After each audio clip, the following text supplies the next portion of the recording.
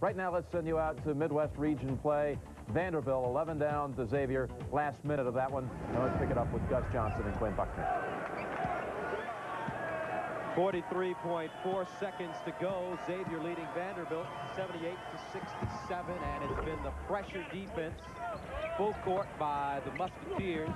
It's been the difference here. Also their ability to crash the offensive boards.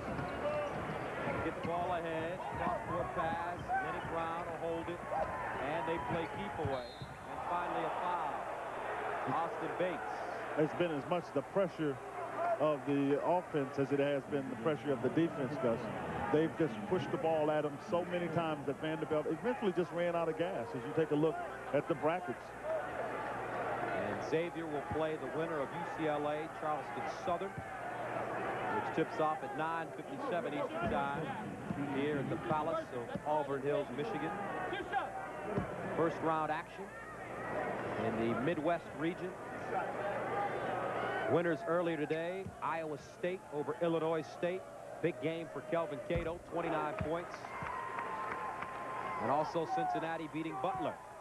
And our Chevrolet most valuable players of the game, Austin Bates for Vandy, 21.7 rebounds. Darnell Williams, 16 points, 6 rebounds, and 5 assists.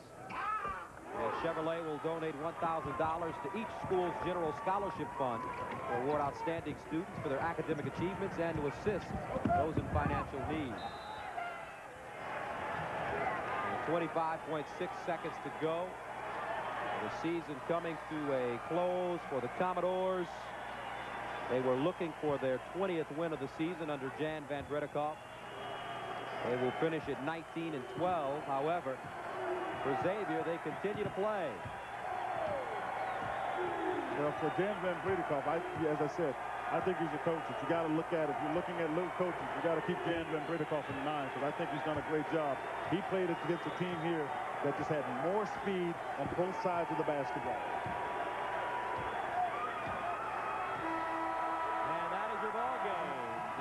Xavier Musketeers will advance to the second round as they go on to beat Vandy 80 to 68. They will play the winner of UCLA Charleston Southern.